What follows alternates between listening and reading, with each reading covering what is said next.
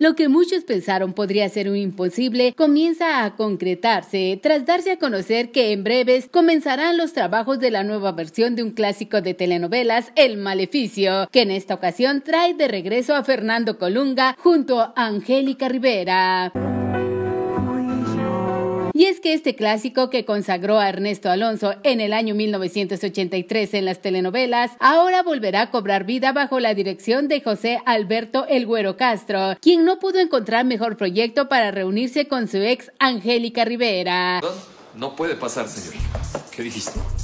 El productor José Alberto Castro en repetidas ocasiones había dicho a la prensa que trabajar con su ex no era problema. Sin embargo, deseaba encontrar el proyecto adecuado para su regreso. Mientras que en el caso de Fernando Colunga, quien es un consentido del público, tiene siete años alejado de los foros, por lo que su regreso a Televisa ha causado gran revuelo.